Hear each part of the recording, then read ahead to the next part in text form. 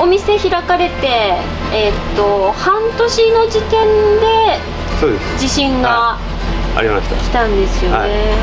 お店再開するにあたってはあの材料とかそういうのは大丈夫だったんですか？まああのー炊き出しされてる方に全部やったんですよあそうです。停電になってたんであ悪くなる前に。ーあーそっか、はでももともとね地元の方ではない？ないです。自分は菊池で。菊池ですね、どうですか？この阿蘇の門前町は。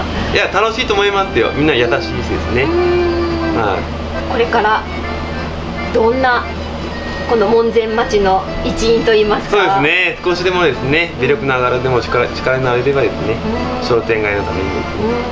いいと思いまあのこのお店の自慢って何ですか？す自慢はやっぱ看板娘ですね。看板娘今日はねちょっとあの映さないでくださいって言われたんですけどあの奥さんとはい。ご主人と二人でそうですね。うんはい。炊いてるので美味しいですもんね私も何度かあ ありがとうのございます。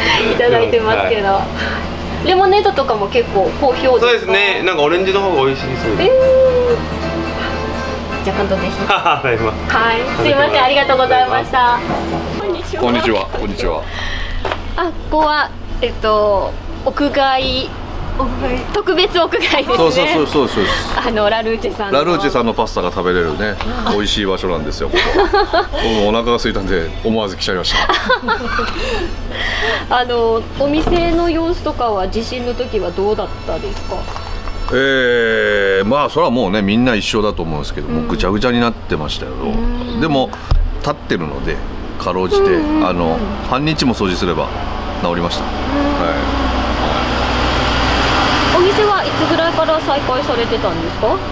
い、いや最初はもうやっぱ商売できるムードじゃなかったんですよね、だからあとまあ電気ももちろん最初の3日4日はねついてなかったっていうのもあるんですけど、あのムード的にやっぱりねあのまずは生きるっていうことをを立て直す期間が2週間ぐらいかなあったと思うんですよ。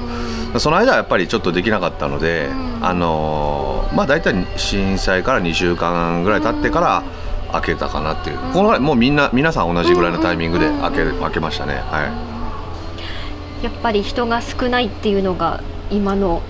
そうですね。あの幸い地震による建物の被害っていうのはこの辺はまだ少ない方だと思います。で阿蘇神社がねもう全部あの背負ってくれたってみんな言ってますけどあの実際あの、まあ、潰れちゃった家もあるんですけどあのここらみんな商売してる人はお店は助かったと思うんですけど本当のなんだろう被害というかあの地震の影響っていうのはこれからなんですよね多分ね。やっぱり57号線が寸断されたことによってあの来客がかなり減ってしまってる状況。まあうちらに限らず阿蘇全体がそうだと思うんですけどその状態をどう踏ん張るか。まあなんかみんなそれをこうしみったれた感じじゃなくてなんか楽しもうとしてる感じもあってパワーはすごい感じますけどね今の状態で。はい。